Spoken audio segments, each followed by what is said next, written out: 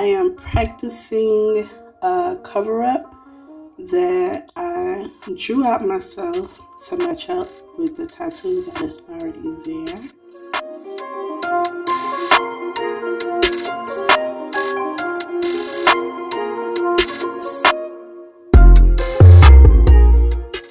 This honestly took me a couple months to do and working on fake skin is not the same as working on real skin.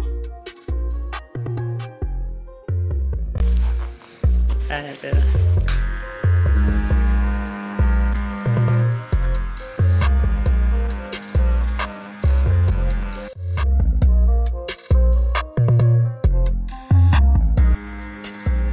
Alright, baby, get the table, get the table.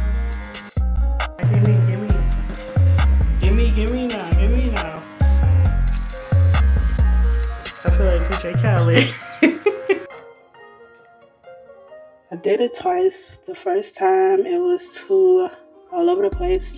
The second time I liked it way more.